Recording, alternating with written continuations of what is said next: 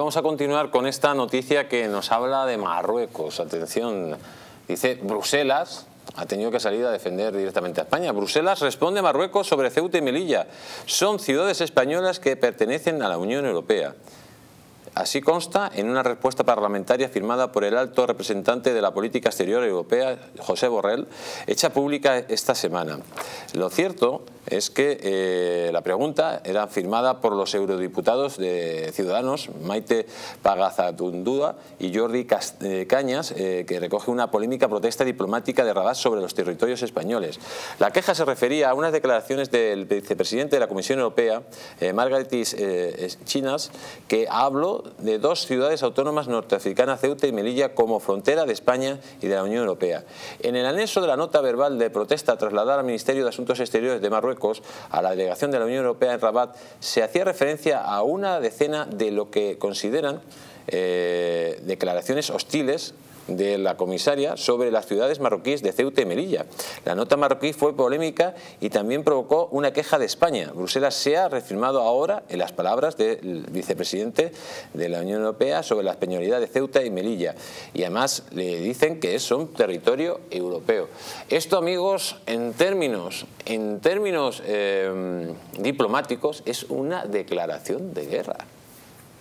O sea, ¿cómo es posible que venga eh, una persona de la Unión Europea que hable de Ceuta y Melilla, que son territorios de la Unión Europea y españoles, y diga que pongan una queja diciendo que esos territorios no son de, España y de la Unión Europea. Esto es increíble, esto es como si directamente decimos que el Rosellón francés no es de Francia, sino que es de España.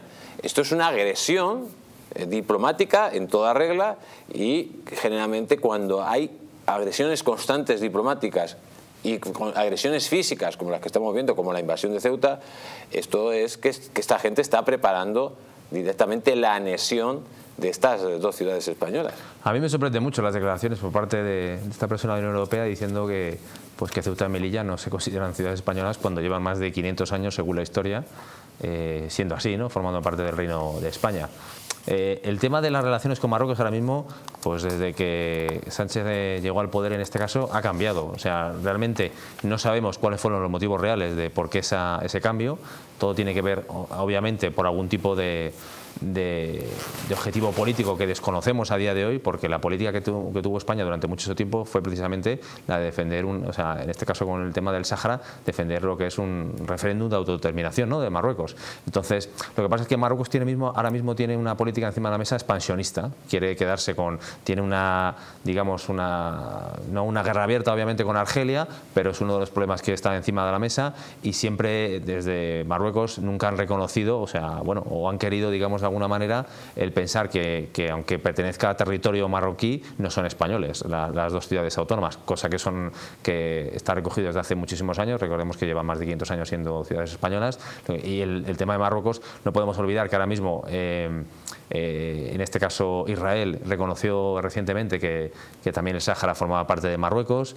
Eh, Estados Unidos está detrás, digamos, del apoyo que tiene Marruecos, está suministrando también bastante armamento, en este caso, a, Marruecos, y ellos se sienten muy fuertes en este caso. Y, aparte tiene el presidente de España es directamente un vasallo de Marruecos. Ese es el gran problema, claro. Claro, el, tema del presidente de gobierno, que desconocemos por qué cambió realmente la política, eso lo supimos a raíz de la filtración que hubo de, la carta que se publicó por parte de Reino Alawi, desconocemos cuáles son los motivos reales de ese cambio. Entonces, claro, si desde el propio gobierno no se, mm, digamos, hay una, política muy laxa con respecto a Marruecos, en la Unión Europea dicen si desde propio España, desde la propia administración española no defienden lo que tienen que defender, pues nosotros no vamos a ir detrás, lógicamente, a, apoyar ese tipo de cosas.